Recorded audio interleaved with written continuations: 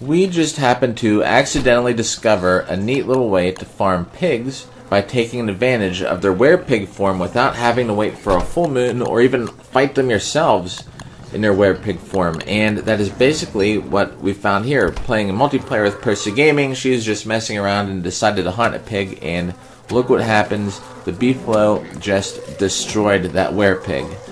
Now, it's great to do this with two people, at least two people, and I'll tell you why. Because as she's doing this, like right there, she's like, "You gotta come down here, you gotta come down here." Like, why? Like, what's going on? I was even paying attention to what she's doing.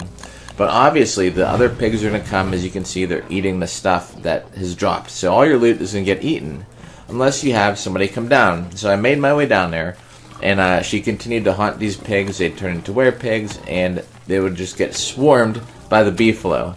Now, we didn't intend um, to build a pig farm around these beefalo. They just happen to be down here already. I mean, she loves this game and animals, and brought them this herd down here somewhere, somehow during that uh, event with her beefalo shrine. So.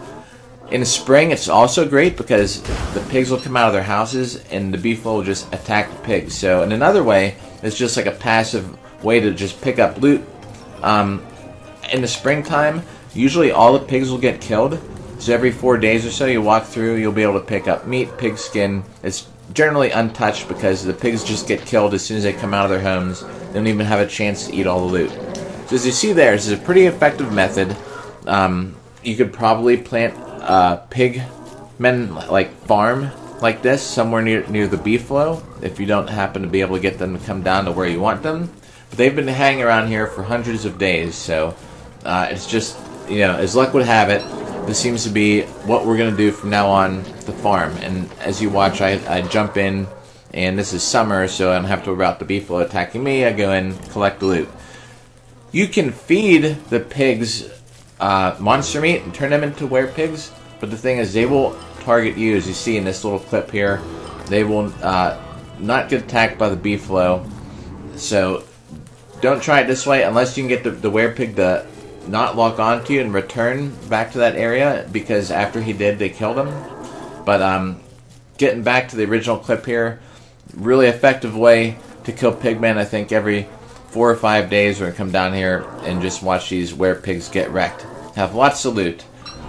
Big meat and pig skin galore. So hope you liked the video. I don't know if we'll have any other kind of don't starve tips. I mean, we just sort of came across this by accident. And we figured we'd share the information.